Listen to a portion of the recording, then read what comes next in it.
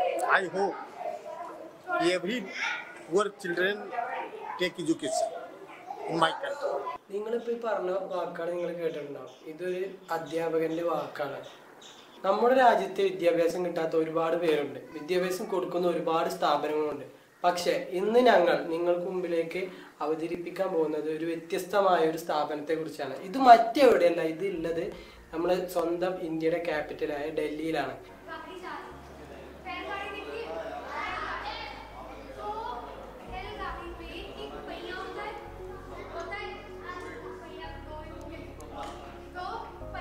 Free school under the bridge നിങ്ങൾ കേൾക്കുമ്പോൾ തന്നെ മനസ്സിലാവും പാവപ്പെട്ട വിദ്യാർത്ഥികൾക്ക് വേണ്ടി അത് തെരുവിൽ ജീവിക്കുന്ന പാവപ്പെട്ട വിദ്യാർത്ഥികൾക്ക് വേണ്ടി. പലചരക്ക് വ്യാപാരിയായ രാജേഷ് കുമാർ ശർമ്മ രണ്ടായിരത്തി ആറിൽ സ്ഥാപിച്ച ഈ സ്ഥാപനം രണ്ട് വിദ്യാർത്ഥികളിൽ നിന്നാണ് മൂപ്പര് ഇത് സ്റ്റാർട്ട് ചെയ്തത്. ഇന്ന് ഏകദേശം മുന്നൂറോളം വിദ്യാർത്ഥികൾ അവിടെ പഠിക്കുന്നുണ്ട്. അത് കൂടാതെ തന്നെ ഏഴോളം ടീച്ചർമാർ അവിടെ പഠിപ്പിക്കുന്നുമുണ്ട്. അപ്പൊ നിങ്ങൾക്ക് വിചാരിക്കും ഇത് ഇത്ര വലിയ കാര്യമാണോ? നമുക്ക് ഇന്ന് കിട്ടുന്ന ഇന്നത്തെ സാഹചര്യത്തിൽ നമുക്ക് കിട്ടുന്ന ഒരു ആനുകൂല്യങ്ങളും അവർക്ക് കിട്ടുന്നില്ല. ബുക്സ് ഇല്ല യൂണിഫോം ഇല്ല ബെഞ്ചില്ല ഡെസ്ക് ഇല്ല. പോരാത്തതിന് ഒരു അടച്ച് ഉറപ്പുള്ള ക്ലാസ് റൂം പോലും ഇല്ല.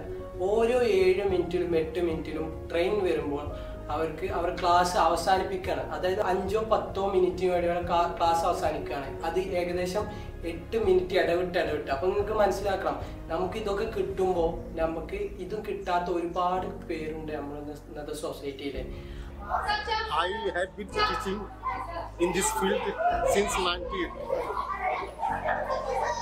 For uh, I decided to improve the poor children because my parents they are arguing labor, homeless person.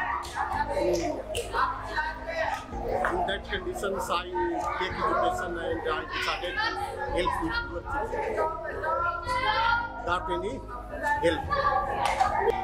Thank you. I I hope every poor children take education in my country, and it will be sufficient for all in the in India. Thanks for watching ഇനി ഇതേമായി കുറേ content videos ഉണ്ടാവും. അപ്പോൾ എന്തായാലും നിർബന്ധമായിട്ടും കാണണം. പിന്നെ ഞങ്ങളുടെ വ്ളോഗിന്റെ കുറച്ച് വീഡിയോസും ഉണ്ട്. അതും കാണണം. അപ്പോൾ എല്ലാവരും ചാനൽ മാക്സിമം സപ്പോർട്ട് ചെയ്യാം. Okay thank